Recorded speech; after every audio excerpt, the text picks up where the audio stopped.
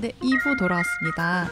MMT론자들의 기본소득 비판에 대한 반비판, 그리고 최종 고용자 프로그램과 기본소득의 비교입니다. 엄격한 형태의 균형 재정론을 비판한다는 점 그리고 균형 재정론에 입각한 긴축 정책 기조를 비판한다는 점에서는 사실 MMT론자들과 뜻을 함께할 수가 있는 그렇겠죠. 것이죠. 네. 네. 음. 그렇지만 일자리 보장 프로그램이 됐든 소득 보장 프로그램이 됐든 그러한 프로그램을 시행하기 위한 어떠한 재정적 제약도 없다는 MMT론자들의 주장은 좀 지나치거나 그릇된 것이 음, 아니냐 음. 이렇게 생각합니다. 어, 핵심적 지점을 딱 벌써 공격하시네. 네. 음. 그래서 특정 시점에서 특정 프로그램에 대한 지출이 재원 조달 액수보다 당연히 클 수도 있죠. 음, 네. 그리고 뭐 이거는 뭐 자주 일어나는 일이기도 합니다. 그렇죠. 하지만 이제 막대한 액수의 지출인 경우에는 사후적으로라도 과세를 통해 뒷받침되지 않는다면 사실 경제에 부정적인 영향을 그렇죠. 미칠 수 맞아요. 있는 막 것이죠. 그렇다면. 네. 그리고 특히나 막대한 액수의 지출인 경우에는 재원 마련 방안이 강구되지 않는 상황에서 정치적 제약이라고 하는 것은 또 굉장히 상당할 수 있다라고 아, 그러네요. 생각을 음, 하고요. 맞습니다. 그래서 MMT 론자들의 주장을 그대로 따르게 되면은 자칫 잘못하면 우리는 특정 프로그램이나 사회 전체의 그 조세 급여 체계, 이제 tax and transfer system이라고 하죠. 어, 이러한 체계의 소득 재분배 효과를 비롯한 각종 효과 분석의 유용성마저 모두 폐, 폐기할 위험성이 음, 있게 되는 그렇죠. 것입니다. 세금을 너무 과소평가하는 것 같아요. 음. 네, 예. 맞습니다. 네, 뭐 국가가 뭐 화폐 발행자인데 뭐 세금은 뭐 화폐의 수요를 창출하는 거다. 뭐 이렇게 얘기하잖아요. 음, 아, 그럴 수 있겠네요. 야, 그리고 이제 뭐 음. 그 조세 급여 체계 소득 재분배 효과 이런 연구가 나오면은 음. 뭐 MMT 론자들이 봤을 때는 음. 아 이거는 음. 화폐에 대해서 그리고 경제 시스템에 대한 오해에서 아. 비롯한 연구다 이런 식으로 이제 네. 그릇된 비판을 할 수가 있게 그렇군요. 된다라는 것이죠. 음. 네. 그리고 MMT 론자들은 최종 고용자 프로그램을 실시하다가 설령 예상치 못한 인플레이션이 초래된다 하더라도 그러할 경우에는 증세를 통해서 통화를 흡수하면 된다고 뭐 이렇게 음. 주장하는 사람도 있습니다. 예를 들면 음. 이제 스테파니 켈튼 교수 같은 경우에 그렇고요. 말이야 쉽지. 네. 그런데 이제 세율을 높이거나 낮추는 네. 문제는 경기 변동에 따라서 신속하고 유연하게 조정할 수 있는 성격의 정책 변수는 아. 아니죠. 난리 그리고 나죠. 이것에 수반되는 정치적 제약은 상당할 수 있다 이렇게 생각을 맞습니다. 합니다. 2% 올린 거 갖고도 난리인데 지금 들어서 소득세. 네. 뭐확 흡수하면 되나 그게? 어휴, 참. 네, MMT가 기존 경제학과 조금 다르다는 느낌은 들어요. 네. 균형 재정을 뭐 신조처럼 받들거나 긴축 정책을 이제 금과 옥조처럼 생각하는 그, 그 고정 경제학 맞죠? 그렇죠. 네, 아, 그런 네. 면에선 좀 어, 다른 것 같긴 하고 그런 면에선 좀 옳기도 한 것 같은데 음. 재정적 제약이 없다는 MMT 주장에 과하다. 음, 음. 아, 그래서 세금 재원 마련의 이런 문제에 대해서는 MMT론자들이 아니란 태도를 가지고 있다 이렇게 말씀하신 걸로 이해하면 될까요? 네, 네. 네, 화폐 가치를 안정시킨다는 주장은 그러면 어떨까요? 어, 이것은 설득력이 있을까요? 네, 그 최종 고용자 프로그램이 화폐의 가치에 대한 닻을 제공한다는 MMT 론자들의 주장은 제가 봤을 때는 설득력이 떨어진다고 생각을 음. 하고요. 반대로 또 음.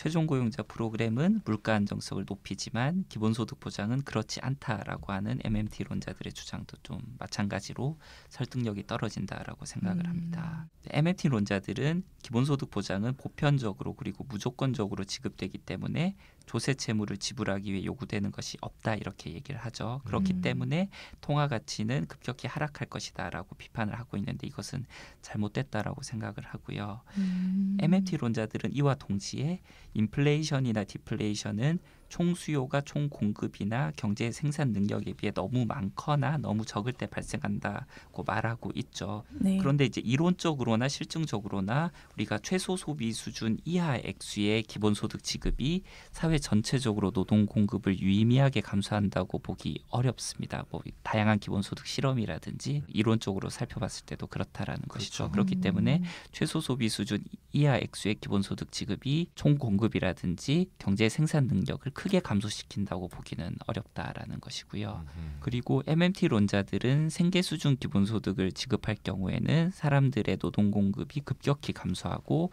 이로 인해서 경제 전체 생산도 급격히 줄어들 것이라고 보는데 이것 음. 자체도 좀 부당 전제 오류가 아니냐라고 생각을 하고요. 또 MNT론자들은 주로 이제 무복지의 상태와 기본소득이 지급되는 상태를 비교하고 있죠. 그런데 현재 상태는 무복지의 상태가 아닙니다. 뭐 그쵸. 사회보험이라든지 음. 공공구조라든지 사회 서비스라든지 각종 복지 프로그램들이 존재하는 조건적 사회보장의 상태이기 때문에 비교 대상을 그렇게 삼는 것이 굉장히 중요하다라고 음. 말씀드릴 수가 우리나라도 있겠습니다. 뭐 무복지 아무리 복지가 우리나라가 후지다고 해도 네. 우리나라 GDP 대비 복지 지출이 11%예요. 음. 네, 세계 1위가 프랑스인데 GDP 대비 31%거든요. 어, 차이는 많이 나네요. 우리나라가 OECD 36개국 중에서 34위예요. 어. 밑으로 멕시코, 칠레밖에 없고. 그만큼 우리 같이 복지가 없는 나라도 무복지 상태는 아니란 말이에요. 그죠. 네. 국민기초생활보장제도도 있고 뭐 구직수당이나 실업급여 같은 것도 음. 있고 선별소득 보장을 실시하고 있잖아요. 그러니까 네. 무복지하고 기본소득을 비교하면 절대 안 되는데 아직도 음. 이런 사람들이 너무 많네. 선별 소득 보장하고 기본소득 보장 이렇게 음. 비교를 해야 그죠. 정확한 비교가 될 수 있고 현실과의 비교고요. 네. 그렇게 선별소득 보장과 비교할 때 기본소득이 확실하게 경제적 효율성이 있다는 것은 최근에 강남훈 음. 교수님 책에서도 잘 언급이 된 거 기억이 납니다. 음. 네, 맞습니다. 음. 그리고 이렇다 해서도 여러 차례 강조를 했었는데요. 그 보통 이제 노동 공급 효과 이런 것들을 분석할 때는 통상적으로 고려하는 소득 효과나 대체 효과뿐만 아니라 승수 효과, 공동체 효과도 추가로 감안을 해야 되는 것이죠. 음, 그렇죠. 그리고 또 이것도 굉장히 여러 차례 강조를 드렸는데 기본 소득은 한계 소비 성향이 작은 고소득층 어, 고자산층에서 한계 소비 성향이 큰 저소득층이나 저자산층으로 소득을 이전하는 시스템이죠. 그렇기 네. 때문에 사회 전체적으로는 사회 전체적인 소비를 늘릴 수가 있고 그렇기 때문에 노동 수요를 늘리고 이로 인해서 일자리를 증가시키는 승수 효과를 낳을 수가 있는 것이죠. 그런데 음. MMT론자들은 이러한 승수 효과 뭐 그리- 그리 고 이제 공동체 효과에 대해서는 전혀 고려를 하지 않고 있다라는 것입니다. 이 승수 효과를 좀 쉬운 말로 하면 소득 주도 성장인데 아, 그걸 안 말이야. 그러니 될 리가 있는데 효과가 안 나타나죠 지금. 그죠. 그러니까 지금 건설 경기를 다시 진흥을 시킨다고 발표하시고 뭐 음. 삼성 보고 도와달라고 하고 뭐 아, 답답합니다 진짜. 예. 네, 사실 EIT, EITC도 급격히 확대했다고는 음. 하지만 그 네. 지급 액수 자체로 네. 보면 굉장히 적기 굉장히 작죠. 때문에 네. 거의 음. 효과가 미미하죠, 없다라고. 볼 수. 있겠습니다. 네. 네, 노동 공급의 급격한 감소가 있을 것이라고는 보기 어렵고 이 부당 전제 오류였죠. 네. 승수 효과로 인해 노동 수요는 늘 수 있다고 정리해 주셨어요. 네. MMT론자도 경제학자이고 설과타님도 경제학자이므로 경제학 측면이 많이 거론되고 있는데 저는 기본소득이 공동체에 갖는 효과를 무시하면 안 된다고 생각하거든요. 맞습니다, 맞습니다. 예. 네, 신체적, 정신적 그 건강을 이제 증진하고 음. 범죄와 의료비도 아 범죄도 줄이고 의료비도 감소시키고 음. 네. 형도 협동 의식과 음. 사회적 경제, 조직 활성화 효과, 뭐 교육 그렇죠. 투자로 인한 노동 생산성도 늘고 음. 지대 추구 행위 축소가 되고 또 소득 불평등도 개선되고 아 중요한 얘기죠 이게. 네. 그- 그 숫자로 나타나지 않는 중요한 것들이 그러니까요. 많이 있는 거죠. 네, 네. 맞습니다. 기본소득이 이런 사회적 안정 그리고 사회 통합에 큰 효과를 가지고 있는데 MMT론자들은 이런 점을 과소평가하고 너무 어, 안정화 이렇게 순수하게 경제 지표만을 들이대는 거 아닌가 음. 이런 생각이 드는데 그것도 그릇된 전제나 이제 현실과는 동떨어진 결론을 가지고요. 맞습니다. 네, 맞습니다. 네. 그리고 공동체 효과는 경제적 측면에서도 매우 중요하죠. 어허, 그래서 공동체 효과까지 고려하지 않게 되면은 음. 사실 기본소득의 일자리 효과를 과소평가하게 되는 셈이 있는 음, 것이죠. 그렇군요. 뿐만 아니라 기본소득이 노동시장 참여를 제약하는 어, 요인들을 완화하거나 제거하게 되죠. 그리고 노동시장 참여로 인해 발생하는 좀 추가적인 어, 거래 비용이라든지 기회 음. 비용 이런 것들을 좀 충당할 수 있게 해준다는 것입니다. 왜냐하면 이- 일을 하게 되면 아무래도 교통비가 더 많이 들게 되죠. 그리고 그렇죠. 일을 하지 않을 때보다는 일을 하게 됐을 때 뭐 입을 것이나 먹는 것에 소요되는 추가 지출이 더 늘어나게 됩니다. 그리고 뭐 출퇴근 시간이라든지 돌봄 비용이라든지 이런 것들까지 다 어, 더 충당 을 향상하는 데 도움이 될 수 있다라는 점을 감안한다면은 사실 최소 소비 수준 이하 어, 수준의 기본소득 지급이 사회 전체적인 노동 공급을 줄일 것이라고 말하기는 좀 어려운 것 아니냐. 그렇기 때문에 또 이제 어, 통화 증발에 어, 크게 의존해서 큰 액수의 기본소득을 지급하지 않는 한 기본소득이 대, 도입될 경우에 인플레이션이 가속화될 것이라고 보는 음. MMT론자들의 시각은 저는 문제가 있다라고 생각을 합니다. 맞습니다. 음. MMT론자들의 나머지 주장들을 하나씩 비판해 보죠. 최종 고용자 프로그램에선 통화의 가치가 공공부문 임금과 연결되므로 이것이 사회 전체 물가에 대한 일종의 닻 앵커 내지는 벤치마크로 작용할 것이다. 이 주장이 저는 제일 흥미로운 것 같은데요. 이건 어떤가요?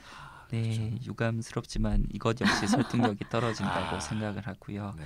그 fixed price floating quantity rule에 따르자면 네. 최종 고용자 프로그램 부문에서 흡수해야 되는 노동의 양은 민간 부문 그리고 기존 공공 부문의 일자리 현황 그리고 경기 변동에 사실 전적으로 의존한다는 것을 음. 의미하는 그렇죠, 것입니다. 그렇죠. 네. 또 만약에 최종 고용자 프로그램 부분에서 흡수해야 되는 노동량이 매우 작다. 네. 그러면 이제 효과가 미미한 거 아니에요? 음. 전체 고용량에서 차지하는 비중이 매우 작을 것이고, 그럼 결국 최종 고용자 프로그램에서 이- 이렇게 규정력을 보이려 그러는 거 아니에요? 앵커 같은 거로. 그렇죠. 네. 이러한 그래서 최종 고용자 프로그램에서 정하는 그 임금 수준이 사회 전체의 물가 수준이나 사회 전체의 임금 수준에 미치는 영향도 음. 미미할 수밖에 없는 거죠. 예. 네. 어, 그렇다면 만약에 최종 고용자 프로그램 부문에서 흡수해야 되는 노동의 양이 매우 크다면 어떻게 되나요? 네, 그, 그 경우라면은 어 이제 전체 경제 고용량에서 최종 고용자 프로그램이 차지하는 비중이 매우 크게 되겠죠. 네. 그런데 이러한 경우에는 최종 고용자 프로그램 부문에서 수행되는 노동의 질과 노동 생산성이 큰 이슈가 될 수가 있습니다. 음. 그렇죠. 왜냐하면은 시간당 임금률이 고정되어 있다 하더라도 그것이 곧 시간당 노동 생산성이 그렇죠, 고정되어 있다는 의미는 어. 결코 아니기 때문인데요. 맞아요. 최종 고용자 프로그램에서 수행되는 노동의 질과 생산성이 만약에 형편없다라고 아, 음. 생각을 해본다면은 음. 그리고 실제로는 또 그럴 가능성이 음. 저는 매우 굉장히. 어, 네. 높다고 생각을 취로 사업 같은 게될 가능성이 하고요. 높죠. 예. 특히나 최종 고용자 프로그램에서 흡수해야 할 노동력 풀이 커질수록 더욱 그러할 거다고 음. 저는 생각을 합니다. 그렇죠. 할 일이 없을 수 있죠. 네, 이러한 경우에는 시간당 임금률은 고정되어 있다 하더라도 질적 측면까지 고려된 노동 공급은 사실 급감할 수가 있는 것이고 음. 총 공급 역시도 급감해서 인플레이션이 가속화될 수 있다라고 생각을 합니다. 인플레이션 뭐 이론 중에서는 이제 수요 견인 인플레이션이나 뭐 비용 인상 인플레이션 어, 이 이제 둘 다 발생할 수가 있다라는 아. 것이죠. 음. 이 지금 이때까지 좀 많은 얘기를 했는데요. 이분들이 이제 최저임금 좀 네. 많이 주면 생활임금 그렇죠. 이 수준에서 시간당 임금률을 딱 고정시켜 놓으면 음. 이거로 임금 안정과 물가 안정이 다 해결되는 버퍼로 음. 작동할 거란 얘기잖아요. 그죠, 그죠. 정말 굉장히 순진한 생각 같은데 네. 자본주의가 뭔지 잘 모르는 것 같아요. 음. 자본주의는 네. 시간당 더 많이 쥐어짜는 거. 음. 네. 같은 한 시간이라도 제가 아까 노동 강도를 높이고 노동 생산성을 높이고 이거에 사활을 걸고 있는 게 자본주의인데 음. 네. 시간과 임금만을 매치시키는 건 이건 막스 자본론식으로 얘기하면 절대적 잉여 가치만 맨날 생각하고 있는 거잖아요. 음. 사실 중요한 건 자본주의에서 상대적 잉여 가치거든요. 음. 한 시간이라도 그 시간이 어떤 한 시간이냐. 네. 이거에 따라서 시간당 만 원이 비쌀 수도 있는 거고 이만 원이 쌀 수도 있는 거고 이런 건데 네. 그럼 만 원이면 만 원이고 이만 원이면 이만 원이고 야, 이 자본주의 잘 모르시는 것 같아요. 그래서 참 황당한 생각이 좀 들고요. 아까 설가타님이 그 노동을 여타 상품과 같은 완충 재고다 이렇게 본다 이렇게 얘기하셨는데 네. 이것도 굉장히 황당한 거잖아요. 어떻게 사람의 노동력이라는 상품은 다른 상품하고 다른 거죠. 물건을 쌓아놓으면 그냥 그건 물건이고 사람은 이게 살아있는 생명체인데 네. 또그 다음에 그 노동력의 발휘 자체도 상품에서 그것도 시시각각으로 바뀌는 거고요. 네. 이걸 동일하게 작용을 해서 보는 것 자체가 좀 황당하지 않은가, 단순하지 않은가 이런 생각이 듭니다. 네, 맞습니다. 네. 사실 버퍼 스탁 임플로이먼트에서 노동 또는 노동력이라고 하는 완충 재고 상품은 사실 여타의 완충 재고 상품과는 전적으로 다르죠. 네. 그래서 임금을 준다고 하더라도 음. 그 시간 내에서 얼마나 그 노동자가 노동력을 발휘해서 뭐 생산을 하느냐 이런 음. 것들, 그러니까 노동력의 사용 가치라고 하는 거는 음. 항상 이제 어, 굉장히 달라질 수가 있죠. 달라지죠. 그것 때문에 자본과 음. 노동 사이에 굉장히 또 계급 투쟁의 한 예. 지점이 있는 것이죠. 네, 네. 그리고 이제 실증적으로 보더라도 물가 또는 임금과 관련해서 앵커 그리고 벤치마크가 있으면 또 더 많이 있을수록 물가 안정성이나 임금 안정성이 더 높아질 것이라는 가설은 좀 지지받기 음. 어려운 것 음. 아니라고 생각을 하고요. 예를 들면 이제 최저임금제를 실시하고 있는 국가들의 물가나 임금 상승률이 그렇지 않은 국가들의 물가나 임금 상승률, 그러니까 예를 들면 뭐 협약 임금 체제라든지 뭐 그런 음. 국가들과 네, 비교했을 때 더 뭐 낮고 안정적이다. 뭐 그런 증거가 있는가라고 아. 생각해 보면 그렇지 않다라는 어, 것입니다. 그거 말 되네요. 음, 네. 그러게요. 정말 그러네요. 네. 어, 그럼 다음 주장으로 넘어가 보겠습니다. 최종 고용자 프로그램은 보편적 소득 지원 프로그램보다 경기 변동을 훨씬 더 안정화시킨다. 는 MMT론자들의 주장. 이것도 어, 역시 설득력이 떨어지겠죠. 다, 답정너? 아, 네. 네. 네, 통상적으로 거시경제학에서 통화 정책과 재정 정책의 효과를 비교하는 면에서 중요한 이슈를 이루는 것 중에 하나가 바로 정책 시차 문제죠. 음. 그래서 정책 시차란 경제 문제가 발생한 시점부터 정책의 효과가 나타나기까지 걸리는 시간을 의미합니다. 음. 근데 여기에는 굉장히 다양한 것들이 있죠. 경제 전문가들이 나라 경제에 문제가 있음을 알아채는 데까지 걸리는 시간도 있고요. 음흠. 문제를 해결하는 정책을 고르는 시간이 아, 있고요. 네. 정책을 실행하기 위해서 국회 동의를 받는 데 걸리는 시간이 있고요. 음. 정책 실행 효, 후에 그게 음. 실제 효과가 나타나기까지 네. 필요한 시간 등 굉장히 다양합니다. 걸린다. 아, 네, 그래서 시차가 짧을수록 문제점을 신속하게 해결할 수 있으므로 좋은 정책이라고 네. 평가할 수가 있는데요. 그런데 이제 정책을 집행하기까지 걸리는 시간 측면에서는 재정 정책이 통화 정책에 비해서 절대적으로 불리하다 이렇게 뭐, 얘기를 하고 뭐 있습니다. 당연한 거 아닌가요? 음. 그 재정 정책은 그거 국회 통과해야 되잖아요. 네. 패스트트랙 걸기도 참 걸어도 한참 걸리고요. 음. 예, 맞습니다. 통화 정책은 뭐 매달 열리는 금통위에서 네. 금융통화위원회에서 결의하면 그냥 끝나는 거니까 음, 훨씬 빨리 걸리겠죠. 그렇구나. 네. 네, 그래서 이제 정책 실행 후 효과가 나타나기까지 걸리는 시간은 구체적으로 어떤 정책을 채택하느냐에 따라서 달라지기 때문에 보통은 이제 재정 정책과 통화 정책 가운데 어느 한쪽의 손을 일방적으로 들어주기는 음, 어렵다 이렇게 얘기를 하고. 있습니다. 예.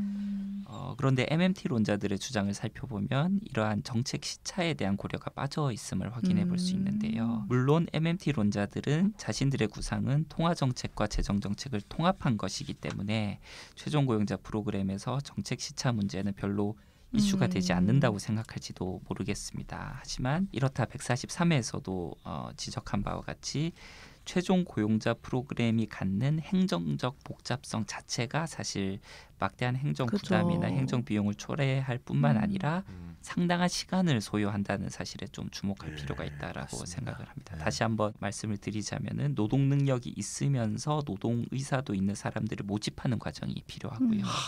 또 그들 각자에게 제안할 구체적인 일자리를 매칭하는 과정이 아, 필요하고요. 벌써 음. 머리가 찌글찌글 아픕니다. 네, 만약 그들이 직무를 수행하기 위해서 재훈련 등이 필요할 경우에는 그것을 음. 또 연결시키는 과정이 필요하고요. 아, 맞아요. 네, 그리고 최종 고용자 프로그램 특정한 프로그램을 사실 만드는 데 것 자체도 사실 시간을 또 필요로 하는 거라고 볼 수도 있겠죠. 네, 맞습니다. 음. 그, 그렇기 때문에 이것이 이루어지는 과정에서 사실 이미 경기 상황이나 일자리 현황은 변화했을 수가 있겠다. 뒷공무니만 라는 쫓아 있을. 가능성이 굉장히 높네요. 네, 아, 맞습니다. 그리고 이제 또 최종 고용자 프로그램이 민간 부문과 기존 공공 부문과 경쟁하지 않는다 또는 음. 안아야 한다는 MMT론자들이 갖고 있는 전제 자체도 사실 현실성이 떨어지죠. 음. 음. 근데 제가 봤을 때는 이 MMT론자들이 그러지 않아야 한다 이것을 거듭 강조를 하고 있는데요. 알아야 한다. 네, 그렇지 음. 않게 되면은 이론상으로나 문서상으로는 정합적인 자신들의 이론 체계가 사실 현실에서는 들어맞지 않고 무너지기 때문이다라고 저는 생각을 합니다. 아. 네, 그러니까 주로 이제 그들이 생각하고 있는 어, 일자리가 공공 서비스나 공공 인 프라 분야에서 창출이 될 것인데요. 음. 근데 현실의 경제와 사회는 사실 폐쇄 체계가 아니고 개방 체계죠. 그죠? 그렇기 그럼요. 때문에 분명히 민간 부문과 기존 공공 부문과 경쟁할 당근 것이고, 경쟁이죠. 네, 뭐 일자리만 보더라도 경쟁을 하고 음. 또 다른 측면에서의 경제에서도 사실 경쟁할 수밖에 없을 것이다. 음. 라는 것입니다. 네, 그렇기 때문에 이제 또 만약에 매우 비현실적인 가정으로 최종 고용자 프로그램이 민간 부문이나 기존 공공 부문과 경쟁하지 않는다고 좀 강하게 가정을 해봅시다. 그러면은 경기가 좋을 때 최종 고용자 프로그램의 노동자가 민간 부문이나 기존 공공 부문으로 다시 어, 유입된다든지, 그러니까 이제 버퍼 스탁에서 빠져나가는 음. 것이죠. 그리고 경기가 나쁠 때 반대로 민간 부문이나 기존 공공 부문에서 노동자가 유출돼서 어, 최종 고용자 프로그램으로 다시 들어가는 과정이 사실 매끄럽게 이루어지지는 않을 음. 것이죠. 왜냐하면 서로 완전히 다른 어, 경쟁하지 않는 분야인데 음. 그 노동자들이 직무의 성격이나 이런 것과 상관없이 유연하게 바로바로 빠져나가고 들어오고 음. 하기가 굉장히 어려울 것이다라는 것입니다. 음. 그렇기 때문에 매우 비현실적이면서도 낙관적인 가정 하에서도 MMT론자들이 말하는 경기 변동 안정화 효과라든지 어, 완전 고용 달성은 결코 유망하지 않다 저는 그렇게 음. 생각을 합니다. 그러니까 민간 부문하고 경쟁하지 않는 네. 공공 부문이라면 있으나 마나한 거잖아요, 사실. 이 경제 오, 내에서. 근데 한국 전력 이런 건 그렇지 않나요? 아, 다른 맥락인가요? 그건 이제 독점이잖아요. 음. 네, 독점이 문제고 그게 아니고 이제 어떤 산업체가 들어가 거기서 생산이 이루어지고 또는 서비스가 이루어져서 물건이 생산되고 음. 그게 유의미한 생산이고 유의미한 서비스 생산이면 음. 네, 당연히 민간 부문이나 다른 공공 부문하고 경쟁하게 되어 있죠. 네, 근데 이게 유의미한 일자리를 창출한 거죠, 그게. 네. 근데 이게 경쟁하지 않는 거면 무의미한 일자리거든요. 음. 네. 그러니까 괜히 돈 주려고 음. 괜히 일자리 창출하고 만들 일자리밖에 안 되거든요. 음. 그러면 진짜 우리가 기본소득에서 늘 얘기하듯이 아, 그냥 주면 되는 거를 그렇죠. 쓸데없는 비용을 그렇죠. 들여서 다 쓸데없는 일자리를 만들어 놓고 음. 그러고 나서 그 복잡하게 일을 시킨 다음에 한참의 정책 시차를 발생시킨 다음에 그러고 나서 또 지급하는 거니까 그렇죠. 그렇죠. 이게 좀 앞뒤가 안. 진짜. 물론 아. 매우 좀 긍정적으로 평가를 네. 해보자면 민간 부문은 아무래도 이제 이윤 창출 논리에 음. 따라서 이제 뭐 음, 음. 상품이나 서비스가 제공된다면 그렇지 않은 부분이 분명히 있을 수가 있고 네네. 또 앞서 우리가 이제 어, 예전에도 다, 다뤘다시피 어, 좀 어, 사회 전체적으로 좀 어, 충족되지 않은 어떤 그런 욕구가 있을 수가 있기 때문에 그런 음. 면에서 공공 서비스가 필요하기는 하죠. 그런데 음. 일자리 보장론자들이 얘기하는 거는 그러한 성격과는 완전히 다르게 음. 완전 고용을 달성하기 위해서 이것을 음. 완전히 다른 모든. 것들을 네. 예, 음. 다 묶어놓는 네. 식과는 굉장히 다르다라는 것이고요. 맞습니다. 그리고 하나만 더 말씀을 드리자면은 어, MMT론자들이 말하는 fixed price floating quantity rule이 현실에서 제대로 작동하기 위해서는 제가 봤을 때는 현실의 경제가 노동 시간이라든지 고용 형태라든지 노동의 안정성이나 불안정성 등의 다양한 차원에서 비교적 단일하거나 균질적이어야 음. 이게 잘 도, 돌아갈 텐데 그렇겠죠. 하지만 현실의 경제는 노동 시간이나 고용 형태 등에서 굉장히 복잡하게하다라는 음. 것입니다. 그래서 이것이 현실에서 제대로 작동하기는 매우 어려울 것으로 생각이 알겠습니다. 됩니다. 네. 네, 또 저는 얼마 전에 경기도 청년 어, 기본소득 수급자 분을 한 분을 만나 뵀는데요. 네네. 이 정책 시차와 관련해서 너무 공감이 갔던 게 아. 그분은 네. 취업 성공 패키지 프로그램에 참여를 음. 하셨다가 이제 경기도 청년 기본소득을 받으신 거예요. 네. 근데 그 프로그램 자체가 매칭과 이 음. 모집 과정 이것을 훈련시키고 재훈련시키는 과정을 아우르는 것인데 확실히 이제 컴퓨터 활용 능력 이런 학원 밖에 다닐 수 없다거나 그렇죠. 아, 네, 그렇죠. 굉장히 네. 이 변화하는 이 산업 시간에 따라오지 못한 음. 정부의 프로그램들이 실천되고 있고 또이 그러네요. 네. 한 달에 뭐 서너 번 이상 계속 자기가 원하지도 않는 직장에 음. 계속 그 구직 지원을 해. 해야 네. 되죠. 예. 이런 식으로 이렇게 굉장히 어, 이걸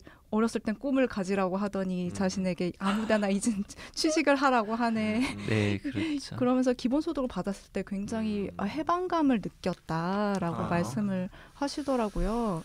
그래서 아 이런 점들을 실제로 듣다 보니까 음, MMT론자들의 이 주장을 듣고 있다 보니 기본소득을 정말 모르는 것 같다 이런 생각이 듭니다. 그리고 음. 또 주로 우리가 기본소득이라고 했을 땐 조세형 기본소득만 있다고 음. 생각을 하니까 이 기본소득은 재정 정책이다. 음. 통화 정책에 대해서는 무지하다. 이렇게 단정을 하는 것 같기도 한데요. 음.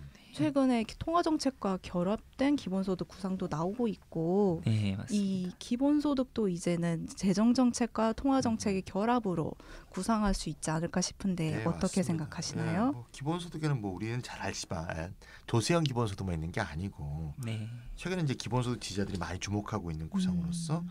화폐의 민주화, 음. 예, 민간 신용 창조에 해방되는 음. 뭐 이런 식의 어떤 화폐 민주화를 통한 기본소득 지급 방안을 많이 우리가 얘기하고 있지 않습니까? 네.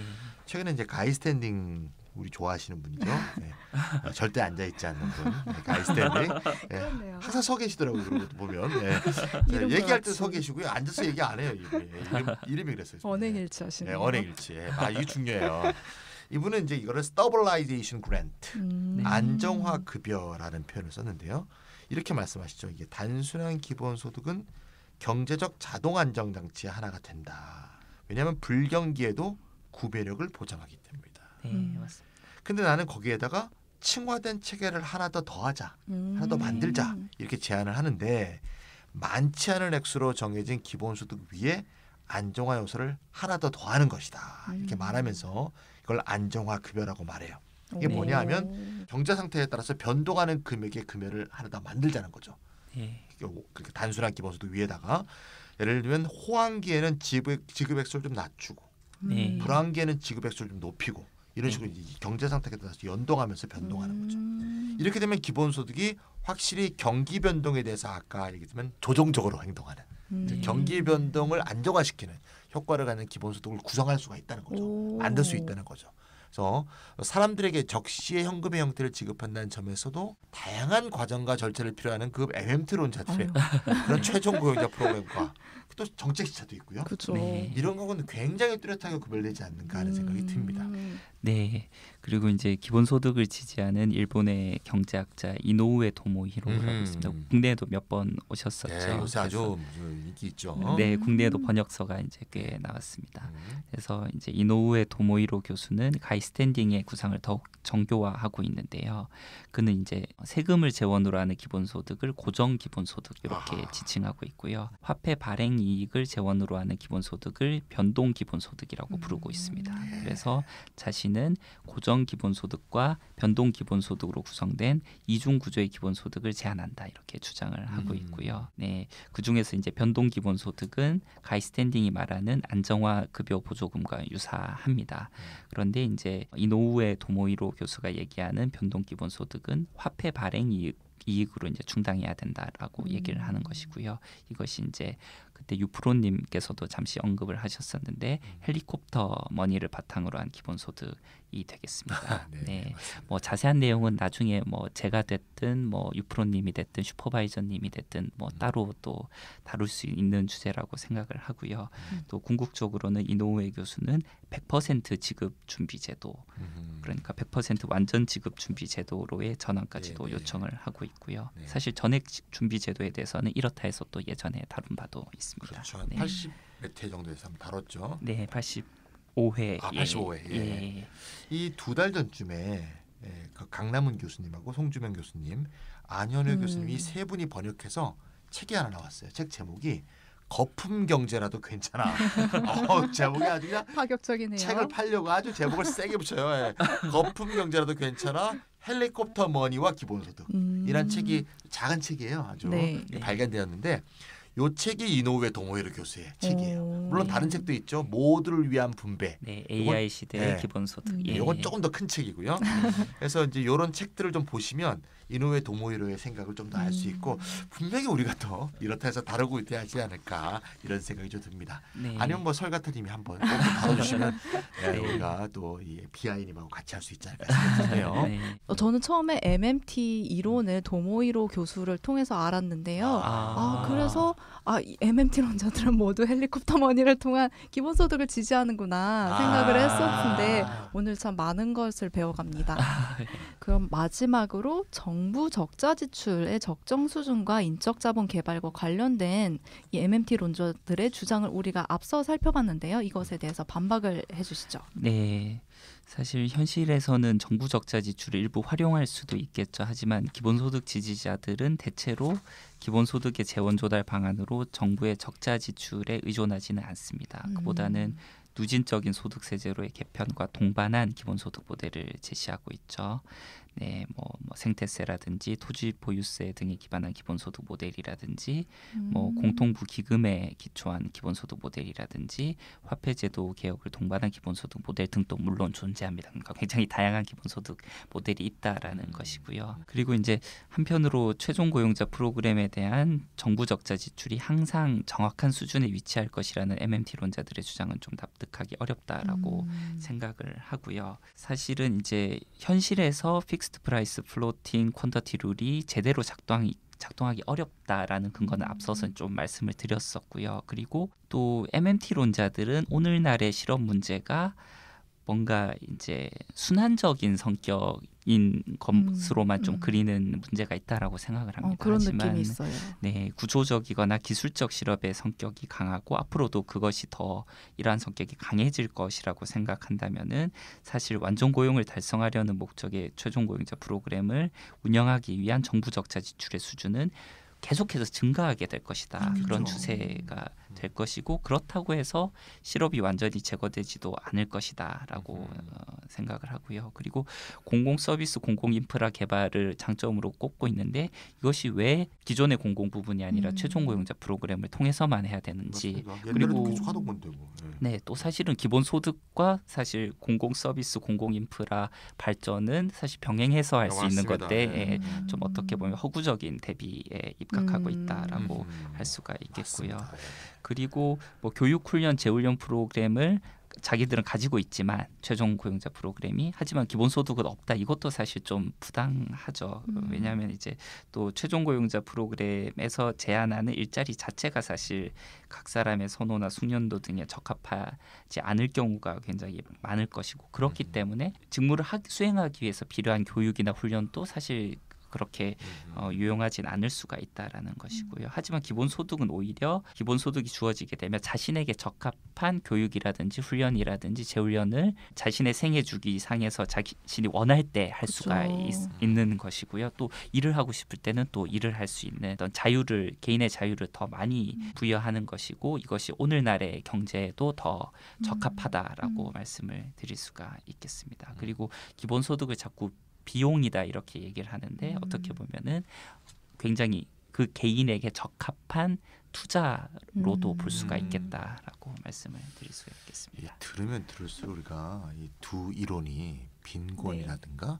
실업과 같은 건 사회 문제에 대해서 음. 고민하고 관심을 갖고 이 문제를 해결하려고 하는 의지는 같은데 네. 기본적인 어떤 방법론이랄까 철학이라 그럴까 맞아요. 한쪽은 계속 국가 주도, 음. 이 정부 주도 이런 식의 어떤 생각의 틀을 못 벗어나는 것 같고 기본소득은 굉장히 자유주의적인 어떤 장점을 잘 이렇게 네. 끌어들여서 이거를 이 문제 해결에 적극적으로 활용하려는 음. 개인의 어떤 창의성과 적극성 네. 스스로의 해결 능력들을 고양시키려는 그죠. 측면에서 이런 부분이 잘 결합되어 있는 이론의 생각이 저도 기본소득 지지자지만 네. 음. 가면 갈수록 더 드는 것 같아요 그런 생각이. 네. 네. 맞습니다. 음. 어, 저 죄송한데 어떤 부분이 결합되어 있다는 생각이세요? 그러니까 이제 예를 들면 일자리 보장 같은 건 정부가 음. 실업인 사람한테 일자리 이렇게 찾아주는 거잖아요. 네. 요 일자리가 너한테 좋을 거야. 저거 좋을 거야. 음. 매치시켜 볼 거야. 이러면서 음.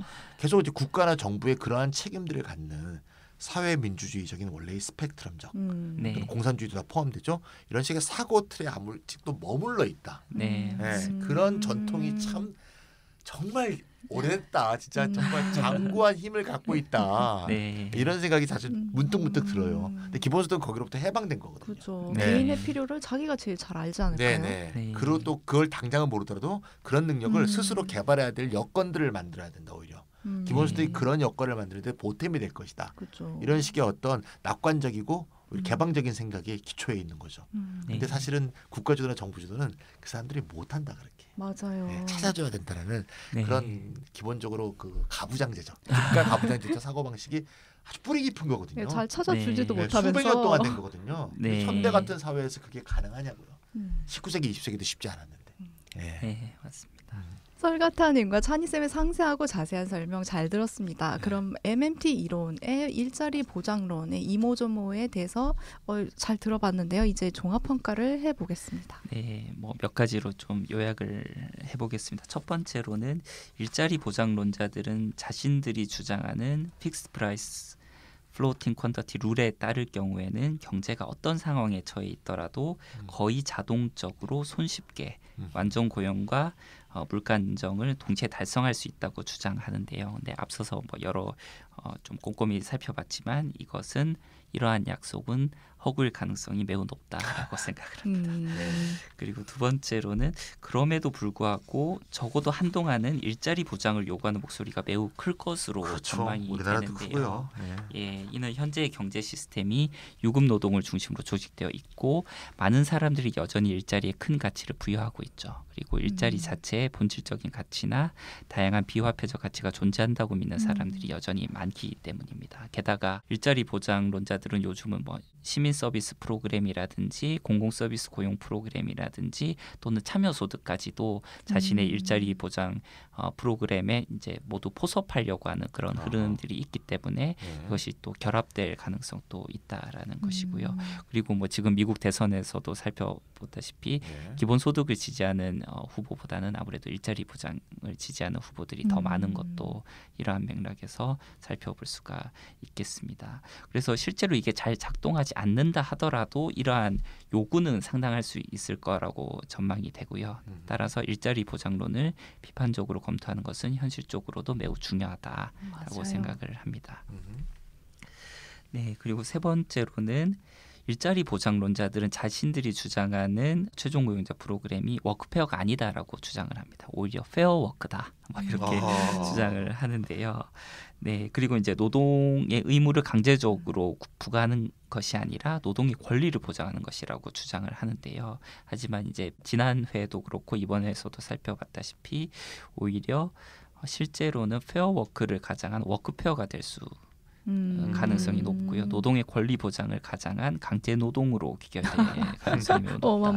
높다라고 생각을 합니다. 그래서 제가 봤을 때는 불안정 노동이 확산되고 있는 우리 시대의 진정으로 요구되는 것은 전일제 노동을 전면화하려고 하는 어떤 이런 일자리 보장론자들의 음. 헛된 약속 약속이 아니라 오히려 불안정 노동자를 비롯한 모든 노동자들의 노동 조건과 일자리 질을 개선시키고 음. 또 노동이나 사회 보호 수준을 높이고 협상력을 제고시키는 것 그리고 모든 사람들의 소득 안정성을 높이는 것이 더 중요한 과제라고 생각을 음. 하고요. 이것이 우리 시대의 기본 소득이 요청되는 하나의 중요한 이유다라고 생각을 합니다. 그렇죠. 그리고 네 번째로는 일자리 보장 구상은 이게 이제 가이스탠딩도 굉장히 허위의 구별이라고 굉장히 음. 비판을 하고 있는 것이죠. 노동 능력이 있는 자와 없는 자로 구분한다든지 또 복지급여를 받을 자격이 없는 빈민과 있는 빈민으로 구분하는 이거, 음. 이것에 이제 정면으로 도전하지 않고 있죠. 오히려 일자리 보장 구상은 이러한 구분을 오히려 승인하고 강화한다는 문제를 음. 지니고요.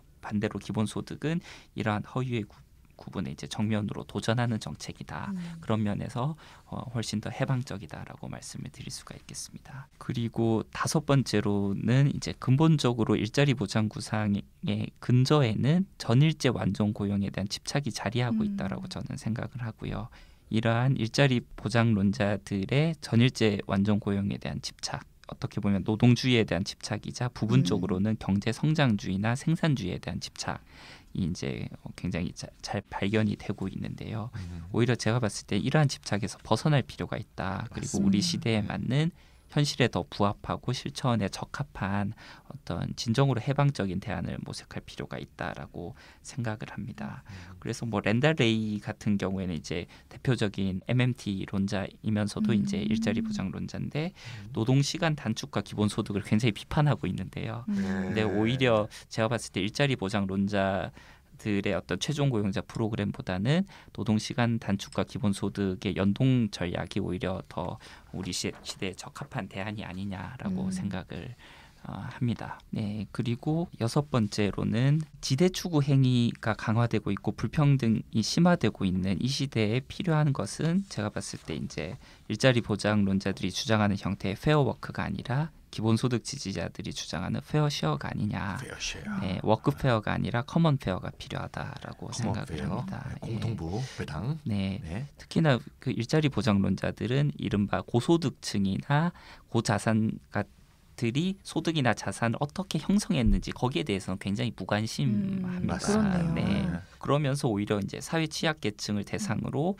일자리 보장 정책이라고 하는 강제적 성격이 강하고 가부장적인 개입을 강요하고 있죠. 음. 하지만 기본소득은 오히려 사회 취약계층의 어떤 힘이라든지 자유라든지 음. 이런 것들을 더 높이 고 그리고 우리 사회 전체의 어떤 소득이나 부를 모두가 어느 정도는 공평하게 나눠 갖는다라고 하는 어떤 그런 입장에서 음. 어, 훨씬 더 이제 해방적이고 우리 시대에 더 적합한 것 아니냐라고 음. 생각을 하고요. 그리고 일곱 번째로는 생태나 젠더에 미치는 영향 면에서도 제가 봤을 땐 일자리 음. 보장보다는 기본 소득이 훨씬 더 우월하다라고 음. 생각을 하는데요. 일자리 보장론자들은 기본 소득은 생태 환경 보전 사업이나 그린 뉴딜 이런 것들을 포함하고 있지 않는데 일자리 보장 프로그램은 그것을 다 포괄할 수 있기 때문에 생태 환경에 더 우리가 더 낫다 이런 식으로 주장하는데 이거는 굉장히 좀 문제 문제가 있다라고 음. 생각을 하는 것이고요. 오히려 제가 봤을 때는 일자리 보장론은 생태 환경보다는 일자리 창출을 최우선 정책 목표로 삼고 있죠. 그렇죠.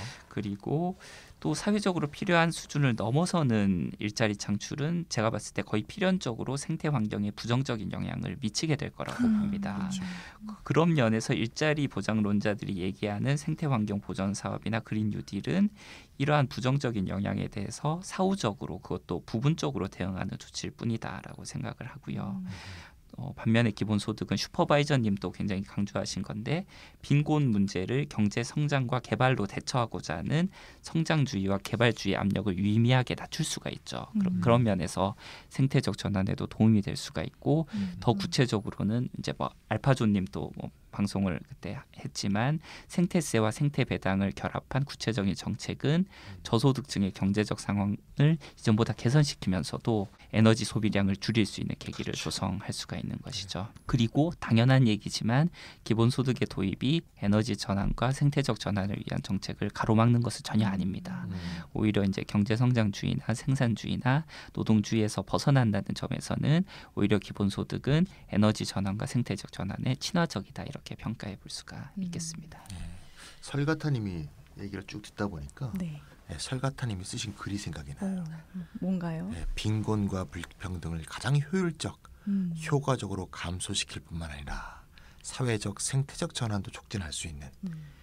real 유토피아로의 거대한 전환을 추동할 수 있는 음. 진정으로 다른 사회를 가져올 수 있는 큰 정책은 일자리 보장이 아니라 바로 오. 기본소득이다. 어유 너무 멋진 말인데요. 네, 2년 네. 전에 쓴. 그래서 세상을 바꾸려는 마음이 없어요 일자리 보장. 그냥 지금의 세상이 어떻게 돌아가게 할 것인가. 음. 네. 목표가 물가 안정과 완전 고용의 동시 달성이잖아요. 그죠. 이런 거 우리 관심 없어요. 그런 것이 어떤 정책 목표로 도, 도, 있을 수가 있죠. 네. 근데 어떻게 그게 목표냐고 우리 삶에. 음. 우리 운동에 우리 어떤 가장 가치, 중요한 예, 가치의 목표일 수가 목표. 없잖아요. 네. 그 경제학책이나 갖다 써라 그러고요. 그거는. 그런 의미에서 진정한 유토피아로의 전환으로 가는 중요한 어떤 계기가 될 수 있는 기본소득 이것이 좀더 우리가 관심을 갖고 우리가 좀 더 펼쳐나가야 되지 않을까 싶습니다. 네, 어, 어느 존경하는 선생님께서 우리나라에서 또는 어, 세상에 바꿀 수 없는 것은 두 가지 있다라고 음, 하시면서 네. 노동 중심주의, 노동 윤리와 성별 노동 분업이다라고 아. 말씀을 하셨다는데 어. 이두 가지를 모두 약간. 일자리 보장론자들이 음. 주장은 계속 영속시킬 수밖에 없는 게 아닌가 맞습니다. 네. 생각이 들어서 역시 답은 또 기본소득이다라고 네, 마지막으로 네, 저희가 또 생각을 해보았습니다. 네. 그럼 네 이것으로 이렇다 148회 기본소득 때 일자리 보장 2부를 마치겠습니다. 감사합니다. 감사합니다. 감사합니다.